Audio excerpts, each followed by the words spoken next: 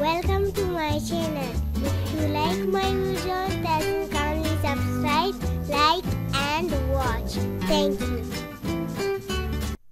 Welcome back. Problem 1.11. So the statement of problem is the form forearm um, and bicep supports the 2 kg load at point A. So this is a 2 kg load that is support by forearm um, and bicep. If C can be assumed as a pin support, determine the resultant internal loading acting on the cross section of the bone, bone of forearm at E. The bicep pull on the bone along BD. So if C is considered as pin support, so you have to find the internal loading at point E. So let's start and we will draw the free body, free body diagram for this problem. So again it is given that bicep pull the bone along the BD so at BD there will be a force. So I will draw the force like this. The BD will act as this. Clear? So this is FBD clear? At point A the load that is acting downward. So this load will be downward. And this will be equal to uh, 2 kg load. So mass is 2 kg so its weight will be equal to 2 into 9.8 so that 81 newton. Clear? Also C is considered to be pin support. So uh, when you remove the pin support so there will be a horizontal force as well as vertical force. And this force is Cx and this force is CY. The angle here is given as 75 degree. The, the angle which this FBD makes with horizontal is 75 de degree. So we will solve it for finding the reaction force FBD etc. Clear? So let move and solve this.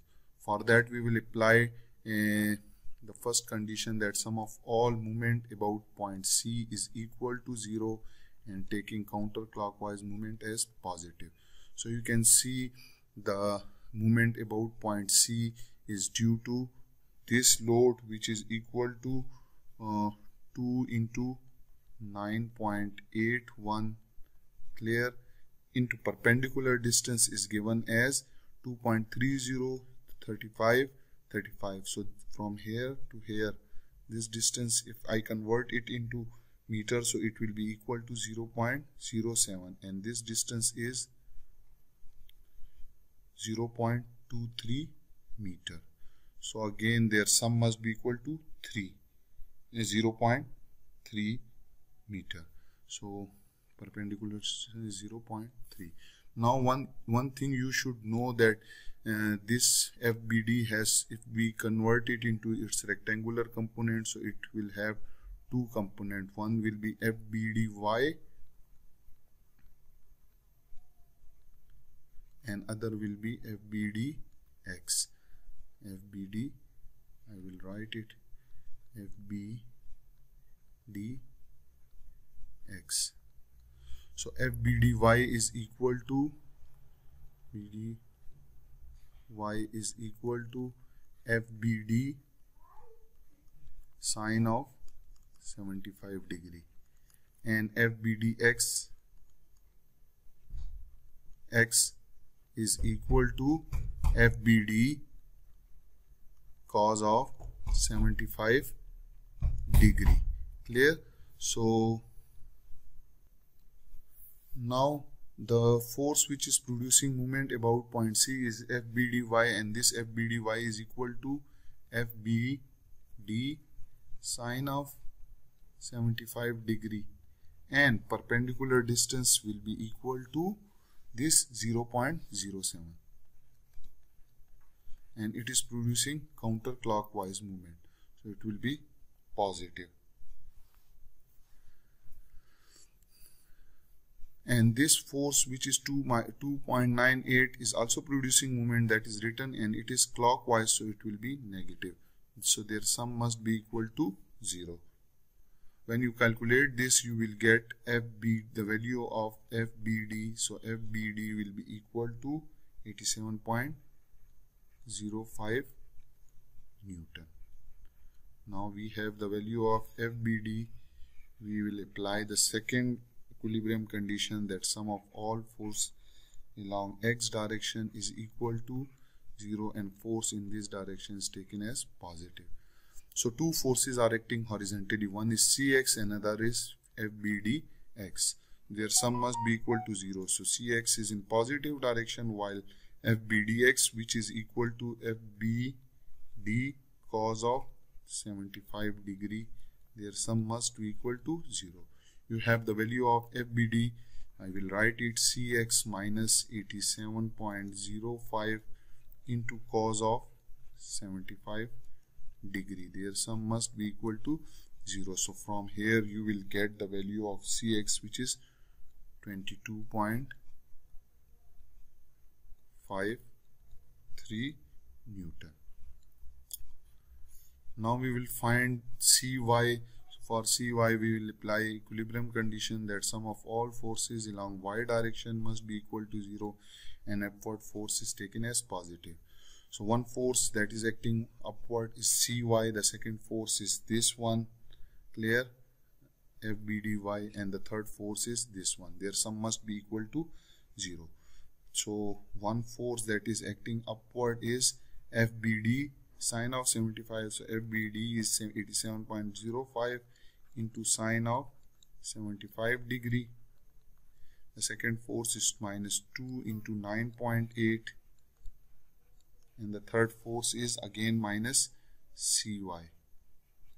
Their sum must be equal to 0 so from here we can get the value of cy which comes out to be 64.47 newton. Now we have all the reaction forces. We can find the internal loading at point E.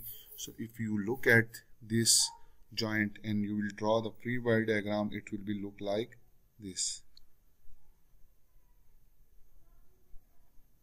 This is point E. When you cut point E so there will be a shear force that is VE there will be a normal force that will be NE and there will be a moment that is ME and this is point C where there is uh, two forces acting. One is CX and other is cy so again you have to apply the boundary condition and you will solve for finding this internal loading at point E. So let's move. Sum of all force along x direction must be equal to 0 and force in this direction is taken as positive. So two forces are acting. One is cx and other is plus ne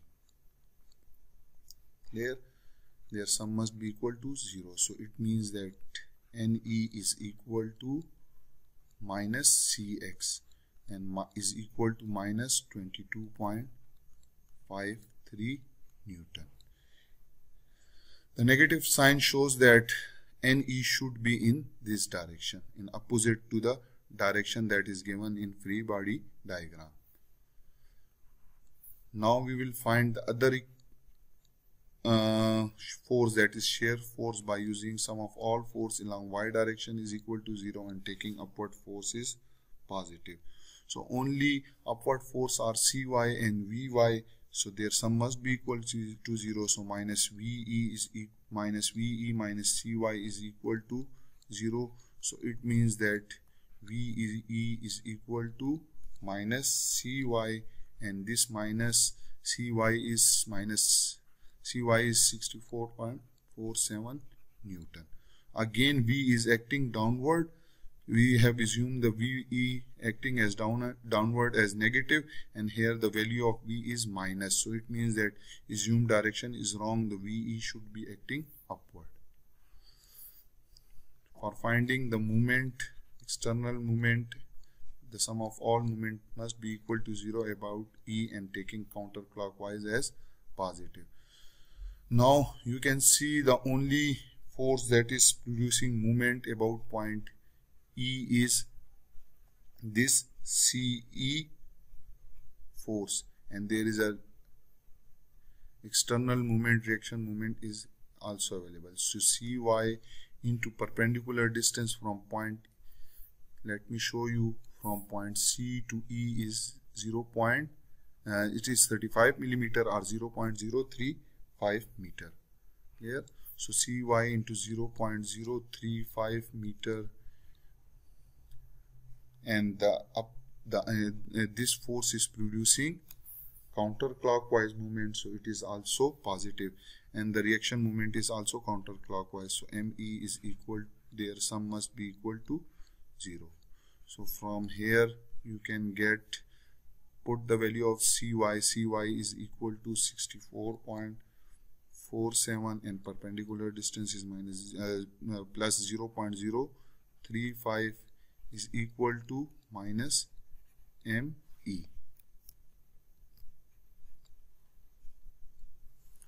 so it means that me is equal to minus 2.26 newton into meter.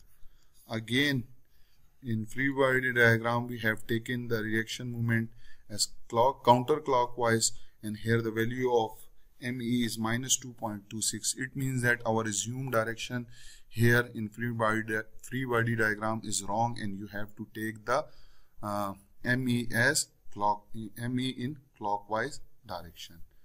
So in this way we have find out the internal loading at point C so this was NE this is VE and this is ME I hope you have understand these are very easy problem basic problem for finding the internal loading.